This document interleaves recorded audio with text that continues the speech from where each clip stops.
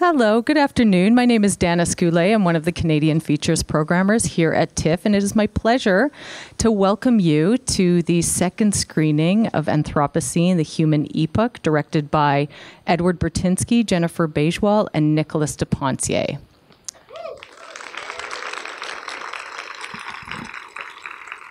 Um, I'd like to begin by acknowledging that we are on the treaty territory of the Mississaugas of New Credit and the traditional territory of the Anishinaabe, Haudenosaunee, and Huron Wendat, and we're grateful to live and work in this community.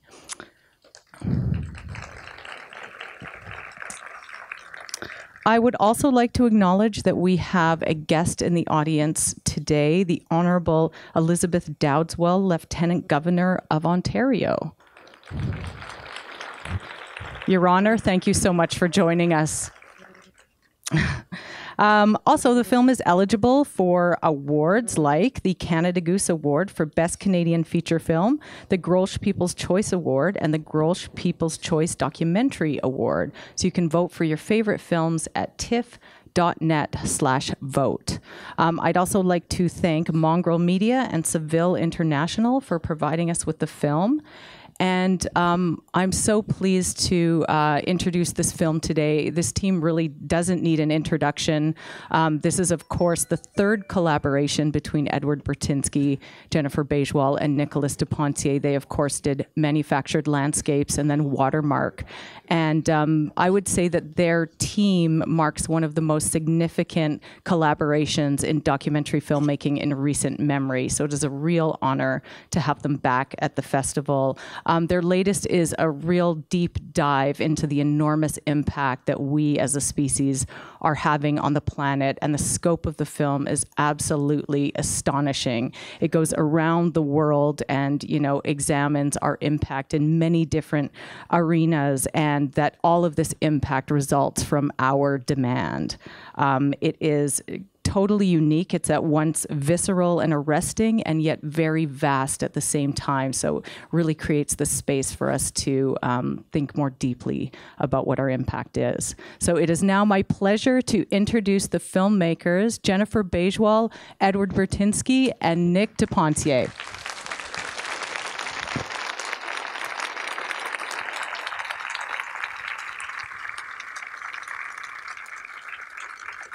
Hello. Ed, do you want to start? Uh, sure. uh, well, thank you all for coming out tonight. Um, and I'm going to make my Today. thanks. Today. It's 12:30. Oh, yeah, okay. it's hard to tell what time it is these days. But uh, all I really want to do is just thank my fantastic collaborators. We've been working together now for 13 years. And then um, five years ago, we sat around and said, there's this word Anthropocene that has a deep meaning, and we think everybody should know what this word means because it has to do with all of us. So, so we spent five years putting this together, um, and we're really excited about this. And also, we're doing a um, exhibition that's going along with it called the Anthropocene. Uh, it's going to be at the AGO and the NGC opening November 28th. So, hope you all get to see that as well. September. Oh, September 20th. September 28th. Uh, that's the National Gallery of Canada, right? that's right. And the AGO. AGO. Right. Yeah. Um, so uh, it's a real privilege to do what you love uh, in your work, and for us, that's doing these projects. Um, it's a privilege and a responsibility, and uh, I'd like to take a moment just to thank our partners, without whom, of course, we don't get to do what we love. And in this film, uh, we're with a, lot of trusted partners uh, who have made the difference between a film happening or not uh, for us in the past, including Bell, TMN. It will play on that uh, family of channels uh, later on, and it's uh, as the dominoes fall. TV Ontario, Telefilm, Rogers, uh, the OMDC, recently rebranded as Ontario Creates, and the Canada Media Fund. Um, for us, these are existential partnerships, and if you enjoy these films, um, I hope you appreciate with us the contribution that they make. Personally, uh, taking on a film like this, um, uh, I was inspired uh, by the topic and the the approach that we all collectively uh, decided to take because I find in our frenetic uh, lives that there's not a lot of time for sustained reflection and meditation, and especially if there are things that um, you identify in your life that you might consider problems and even global problems, it's hard to step out of the slipstream and the the, the vortex um, of of uh, the immediate and try and consider them from a distance. And so part of the ambition of this film is to look at the whole human project in geological time and on a planetary scale. Uh, so I hope through the magic of cinema, that's something that we've been successful in bringing to you today. We also, you know, TIFF has been a partner. We're just we're just so grateful for this relationship, and and uh, you know, this is our hometown, and to premiere here, and we've the audiences that we see at every film, and we're just we're we're grateful because these are not easy topics that we're uh, addressing often.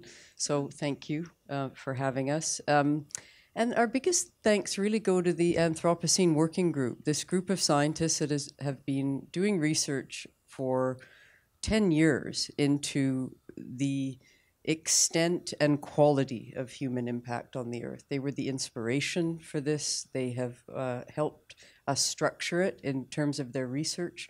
And so we, we owe a big debt to them. Um, all of our team at Mercury Films just wonderful that we've been we've been on a bit of a roll with Black Code and then the hip film, which we kind of interrupted this film to make for obvious reasons um, of of wanting to do that and the time sensitivity of it, and then came back to this immediately afterwards. So it's been about a, four year sprint. Um, and uh, uh, our my editor, Roland Schlimm, our editor, who's not here right now. Why isn't Roland here? But uh, Roland and I have been together in the edit room for the past five films and i'm telling you it's very intense our process and it's you know it's a long time like we're in there for 10 months to a year and um, uh, figuring it out together, sort of forensically going through everything. And and uh, I said at the other screening, it's like making a giant puzzle without ever seeing the picture of what the puzzle is supposed to look like. That's kind of our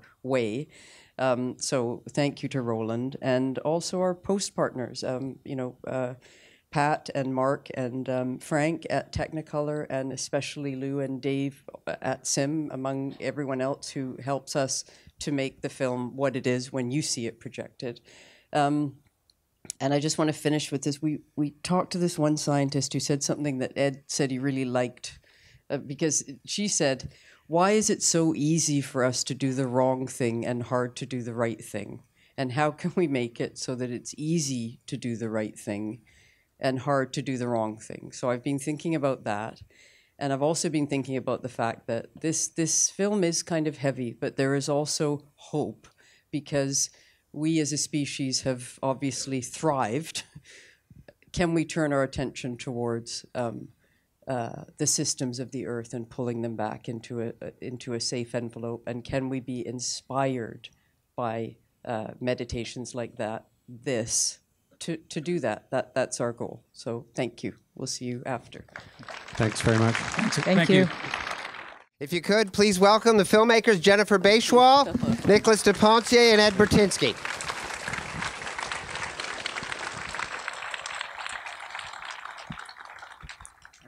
Questions? Comment? Oh, yeah, right there. That was fast. Yes.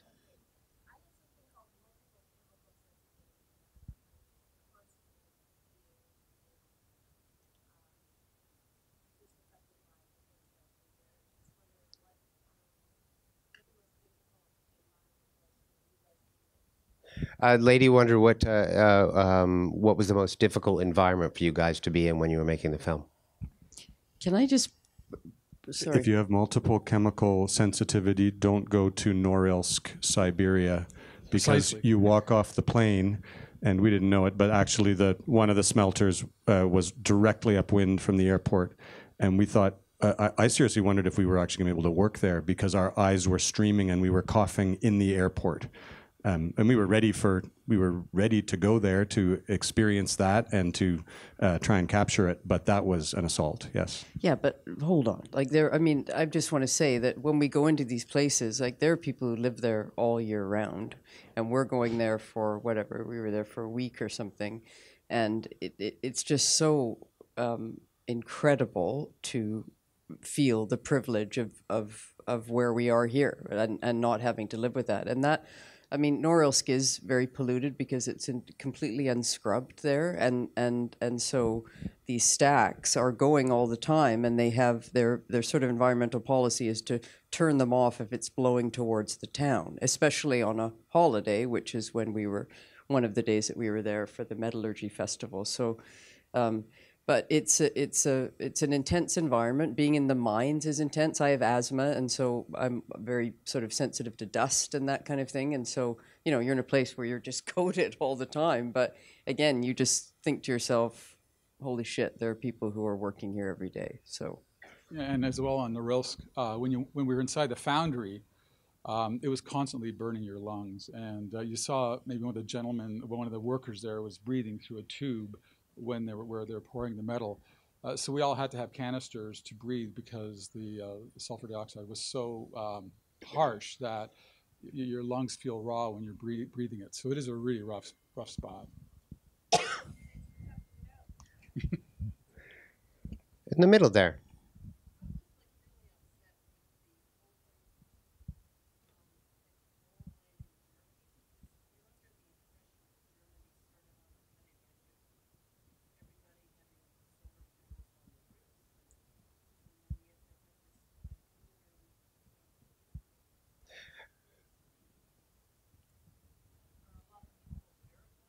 The lady was surprised and upset by the uh, open coal mine in Germany, given that the impression about Germany is that uh, it's actually a little more progressive that way. Uh, Do a lot of people know about that coal mine in Germany? I mean, one of the philosophies of our filmmaking is um, uh, to take you to places that you're somehow implicated in and involved with. Um, and Canada has its equivalents, uh, certainly. Um, and there's a lot of manufacturing in Westphalia that we buy things that are powered by that coal. It's not something that's happening over there, right? This is this is all of us, and so.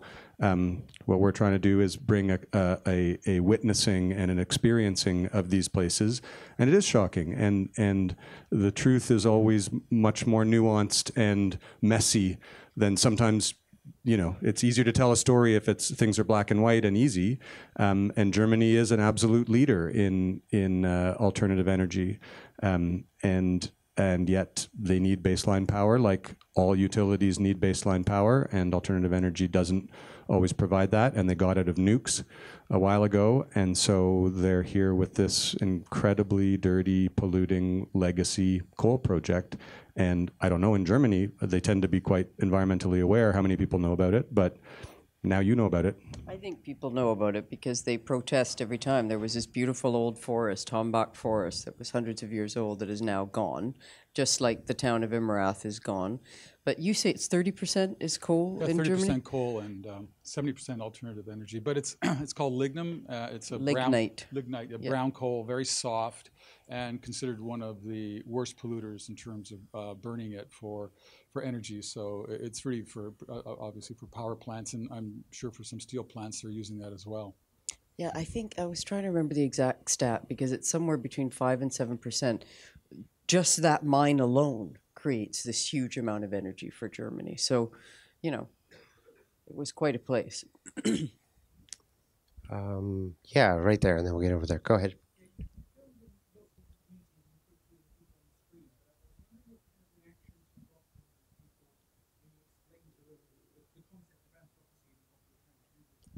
Gentleman noted that you filmed in a lot of different communities, and he, he wondered uh, what uh, what reaction you got from the people in those communities when you explained the concept of the film and the Anthropocene. Well, first of all, how many people in this room knew what that word meant before? So, you know, so when we did this, this we started to make this. We decided to do this when we were on tour with Watermark, and Ed and I were walking through Washington, saying, "Should we do another project together?" And uh, and it was, "Should we whatever?" And I said, "What about Anthropocene. Nobody knows what that word means, right? And uh, maybe we can help make bring it into the vernacular more because it's a it's a huge concept, right? So the first thing was to explain it, right? In in most cases, it's like people either don't know or don't care. Um, and then, uh, you know, do they know what that means? And then just, you know, to, I don't know, what, what, what did we do? I don't Did know if we we tried to explain, explain? it. I don't think we tried in a lot of cases. we- Just said we're doing this mine or. You know. Yeah, th- there's obviously we're um, always try and be mindful of the ethical dimension of traveling somewhere that you are not of and trying to represent that place and especially those people. Um, and so we try and be as as open and honest as we can. And and ironically, that that helps us uh, sometimes after a year of work get access to places that it's very hard sometimes politically to get access to, like a coal mine. Um, uh, but also somewhere like uh, Dandora landfill, let's say, um, where our worlds are are very different. Um, and so, absolutely, we try and explain exactly what we're doing and what our project is, um, and uh, and have as authentic a an exchange and and relationship as we can when we're there. We don't travel with a script. We try not to come with preconceived ideas of what we're trying to get out of that location. We do a lot of research and then try and be really open to um, what we feel is actually happening and trying to be yeah very in a mindful place while we're there. Yeah, right there. In the pink.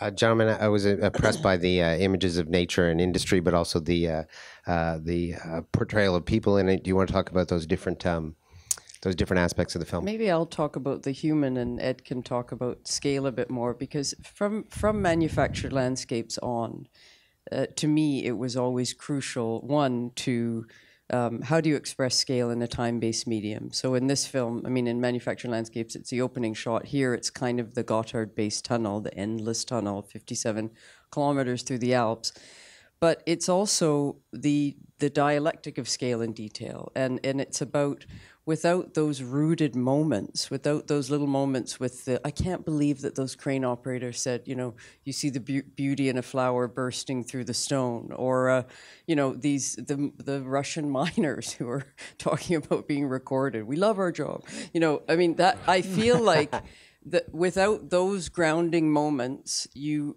the the big picture loses meaning. And so there has to be a balance. And when we're in the edit room when i am editing with roland um, i'm always thinking about that back and forth and how one thing illuminates the other uh, and then that happens uh, backwards as well. So and you want to talk about the Yeah, big and picture? from the, from the very beginning, when I did research on my work, I was always looking for the largest example of something, the largest, you know, uh, copper mine, the largest iron ore mine, uh, largest factories in China. So always that scale was always interesting to me as a photographer. So when we transferred over to film, uh, we, we, we try to keep some of that aerial view or the big view. And it's almost like an inversion of the sublime. If you think in the past, it was nature that was the great sublime, and you think of Turner, and you think of, you know, Moby Dick. You know, nature is an omnipresent force. We are dwarfed by its power, and now we live in a world where we are the force, and we're dwarfed by our own creation. So my images are always about that, trying to in high resolution, trying to find that small human moment, a truck or a person against that mind. And the beauty of working with film and with, with talent like you know Jennifer and Nick is that it, it, it- even from manufactured landscapes, I, I was really uh, thrilled and amazed to see the context of, of these images, where these images come from, and giving you a deeper understanding that these are you know intentional landscapes made by people like you and I, and they're you know something to kind of behold as a, as, as a human enterprise, the kind of scale that we need to provide for almost 8 billion people. So I think that duality uh, is critical to, to, to making you know, all three of these films. And it's not an indictment, right? I mean, we're all implicated in this, so we, let's let's witness it, recognize it, understand it, and then um, try to shift shift it. Yeah, yeah, the person with his hand up. Yeah.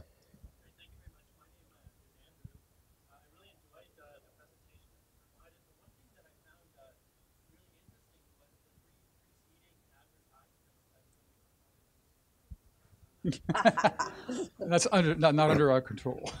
Yeah, Steve, would you like to answer that question? Yeah, I, I, I work in programming. uh, uh, you know, it. Uh, let's move on. Maybe we can discuss it uh, outside. But uh, thanks for the observation. The, the question, The question was, was, uh, the uh, uh, the gentleman noted the three very consumer uh, oriented advertisements prior to the film, and given the nature of the film, it seemed sort of Oh God, So- it's so- it's all over the place. There's even like where did I see? Where did I? You had a plastic straw today, from downstairs. Like I mean, it, you just yeah. To be clear, we, we, we don't receive any remuneration from those three ads. Um, ho- however, let's let- let's just extrapolate. We're we are super happy to be in this festival, which is an amazing arena for cinema and per, and for film, and has programmed our film, which sure has an environmental agenda, but also one that is meant to be inclusive, that isn't meant to be divisive and saying, you know, you guys are bad, we environmentalists have the right answer. It, it is all of us. Um, and so, yeah, thank you for the question. And it's it's worth noting. I always cringe at that and the juxtaposition of that. Um, uh, but the solution is going to have to be holistic. It's going to have to include those ads as well. We can't all just compartmentalize. I never watch trailers actually. Uh, the- it, right there, yeah. Oh yeah, go ahead. I I think the. What, what what was the motivation for the what what do you think the motivation for the communities was when you when they let you guys shoot? Well, um, I'll, I'll jump in on that one. Um, from the very beginning, one of the first locations I ever got access to uh, was the uh, Inco mines uh, up in around Sudbury. And I managed to get to know management here in Toronto who um, were interested in culture and art. And I was basically saying, you know, I'm a, I'm a photographer. I want to do these large scale, um, you know, interventions, uh, and I want to show the largest. So it began there, and then uh, as as uh, time went on, uh, uh, you know, there were different techniques. I worked with researchers and I worked with other assistants to help me get access in China, elsewhere. So it became a team effort. Now with the films, it's a, a much larger team effort, and it's really just kind of trying to find an angle. Like the RWE, at first, it was absolutely not and then there was a collector of mine and uh, that my dealer in, in, in Germany knew. And then you know th- th- this collector was on the board of RWE and they put in a word for us. And and in a way because we're you know we're, we're not accusatory we're more revelatory. And that's the position we take. And we're saying look we just want to show large scale you know human enterprise at the biggest scale we can find it because I think it's something interesting to connect you know people who live in cities to the other things necessary for their lives. And and so we're trying to be that conduit of that landscape to to us in, in, in urban centers because most of us are now living in urban centers. So i think they understand that. And and i think that again different teams different times. But in this case we i think we had four or five researchers at any given time. And then also people who were helping apply. And then we would apply our own uh, letter writing um, our, our connections. But it's usually through connections though Well, I, will say though that the, the RWE has not seen that. No, they're not gonna be yet. happy. So that that's one thing they haven't seen it, and maybe we won't be in Germany when they when they do see it. And the other thing is, we got arrested in Norilsk, and we were detained and then sort of dogged for the rest of the trip because they claimed. Not just because we were, I mean, there were all kinds of reasons of shaking us down, but the, one of the things was we were talking to the women crane operators, and only a journalist would do that. So we came in under false pre- pretenses. We said this is an art film and an art project, and we're we're you know when we told them about the anthropo, and then they they they detained us and said you lied. You have to sign this paper that said that you lied. Um, and we didn't, and we said we're not journalists, and it was just this back and forth for, for a long time. And so it's not always you know a happy sort of situation when when they when they let us in, and there's often a lot of, of negotiating that goes on on the ground about what we can film. Okay, uh, the the gentleman there, yeah.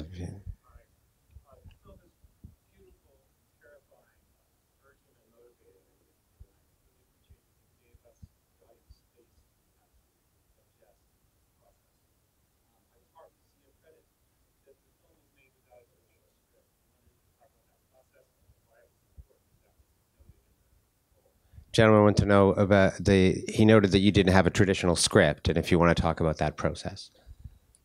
Well, I mean, it goes back to it. I think we've said that in every single one of these films, and in fact, um, uh, in almost all the films that we've made, it's sort of a philosophy of documentary filmmaking that um, you know there are there are fil- films that are much more prescribed, and they write a story and then they go out and execute that story, and because we are engaging with reality um, and we're engaging with contexts that we can't predict and that we have to enter with humility. Um, uh, I feel, we all feel.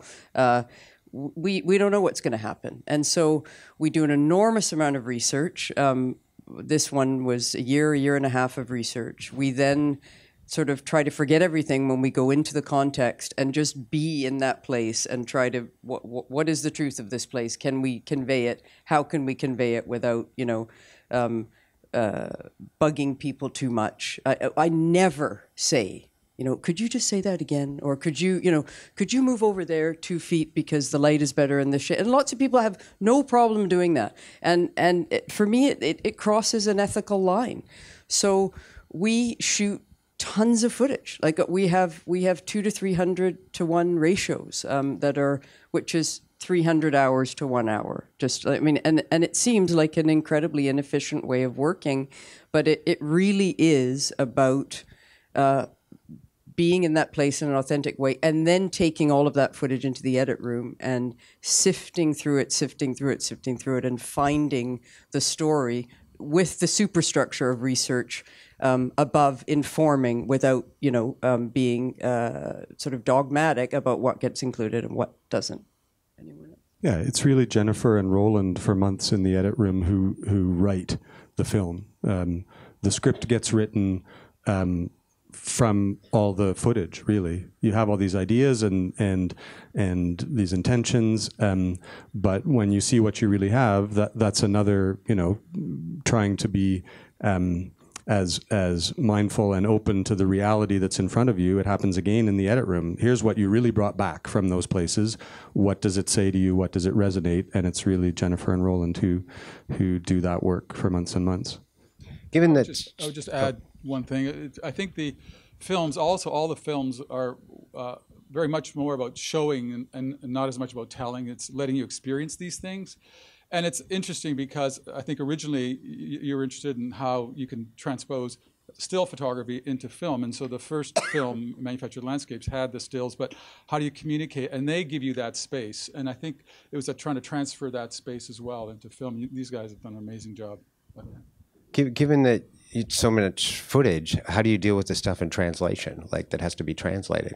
Oh, you wouldn't. You don't want to know. Like we actually translate it all so that we can then see what is there. And in fact, so that Russian mine scene, our only laugh in the whole film. Like I mean, literally, I was. Th- there was no. Th- there wasn't a rooted moment. I mean, everybody's working. It's very difficult conditions. It's really dark. Um, and I kept saying, there's got to be something here that dehumanizes this space. And that was not translated. And it was, I think, month four. And uh, we sent it out again because we found a Russian translator. And I was so happy when that came back because it was like this, this moment, this moment that rooted that whole scene. So I'm afraid we have to wrap it up, unfortunately. But I, you, there, you want to talk a bit about the exhibit at the AGO? Uh, You mean the September 28th one? yeah. on, on, on September 28th, I neglected to mention, but this film is open in theaters, including this theater um, here in Toronto. So if you've enjoyed it, thank you. Thank you. Thank you. Please tell your friends. And, friends. and the AGO and the National Gallery at the end of the month too, and that's very different. There's augmented reality, there's film installations, there's incredible ed photographs, and uh, we've really sort of used all lenses to explore this this subject uh, as much as possible. And we just please come to that too if you can. Thanks. Please check it out. Thank you guys for coming. Congrats on the film. Thank you very much. Thank you.